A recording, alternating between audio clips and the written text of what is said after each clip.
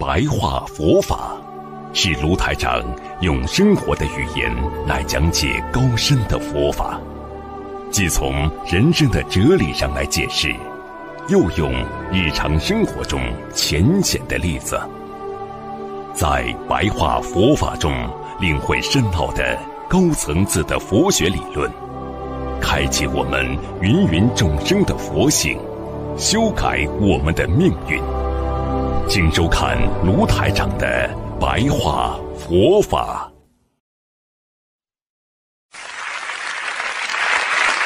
当一个学佛人变得傲慢的时候，他就会像一个坚硬的固体，在自身心中啊形成一种障碍。你们看看社会上很多骄傲的人，你们觉得讨厌吗？你们单位里有吗？你们公司里有这种人吗？我们在澳大利亚，很多孩子觉得读书读了好了，看到自己爸爸妈妈，他都觉得很讨厌，没文化、没水平，英文英文讲不好，不要爸爸妈妈去开家长会。你看看傲慢吧，都不知道爸爸妈妈打工，很多爸爸穿着那种装修工的衣服。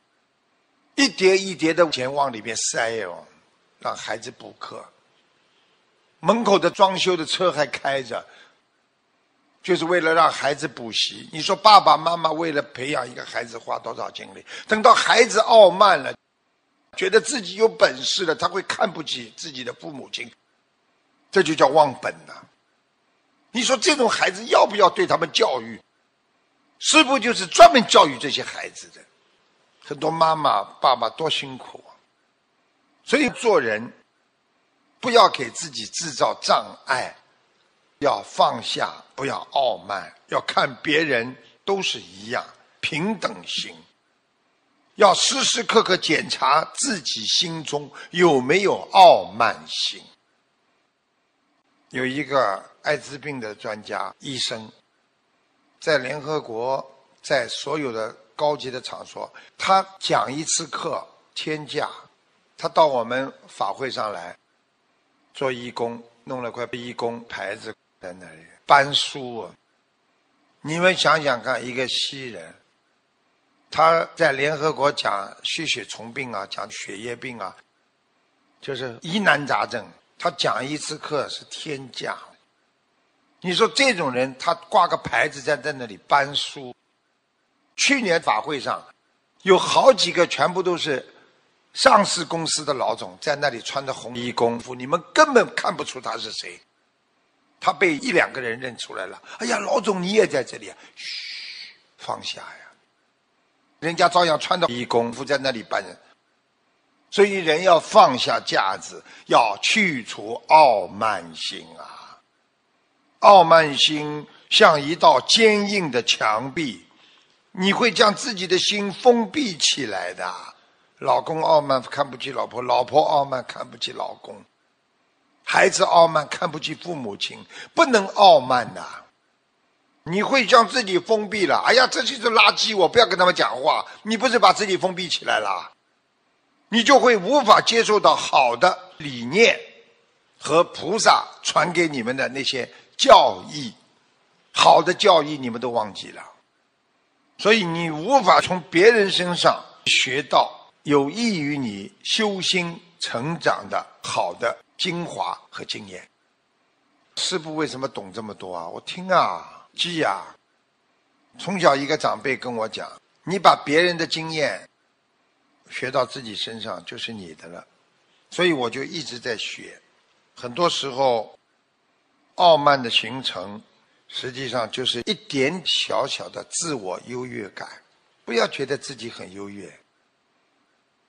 啊，人在慢慢的傲慢之火当中，今天傲慢一点，我跟他不能交朋友了。这个人很讨厌，这个人很麻烦，一点点傲慢，每一天增加一点，在你的心中的傲慢之火可以燎原呐，最后把你自己烧死。傲慢的人谁理你呀？觉得自己很了不起了，哦呦，学历高了，哎呦，钱多了，哎呦，长得漂亮了。我告诉你，没有一个人没有优点的，也没有一个人没有缺点的。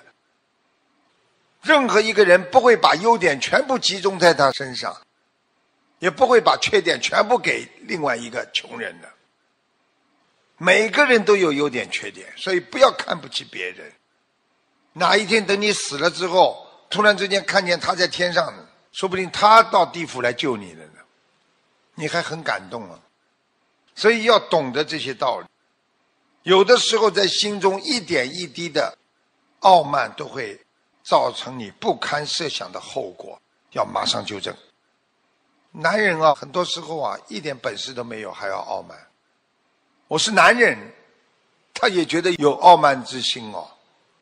任何人都有优点缺点，所以师父跟你们讲，受到表扬的时候心不要动，因为一表扬你心一动，就会执着。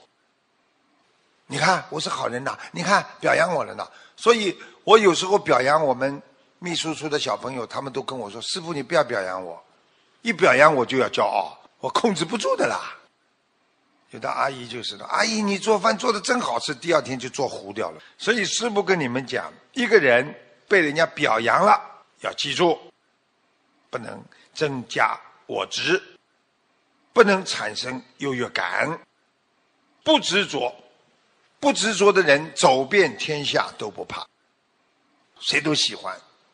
哎，我们到那个饭店吃饭，好啊，可以呀，我都喜欢。哎，你喜欢点哪个菜？什么菜我都吃。你说这种人，人家喜欢还是不要？我一定要吃那个，我一定要这样，我一定要这样。你说哪个人受人家欢迎啊？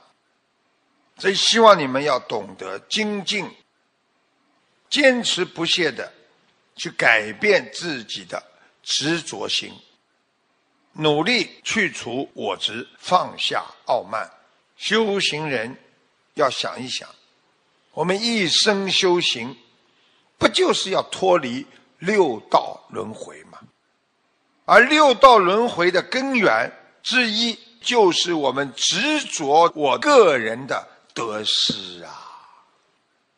你不执着你个人的得失，你不会轮回呀。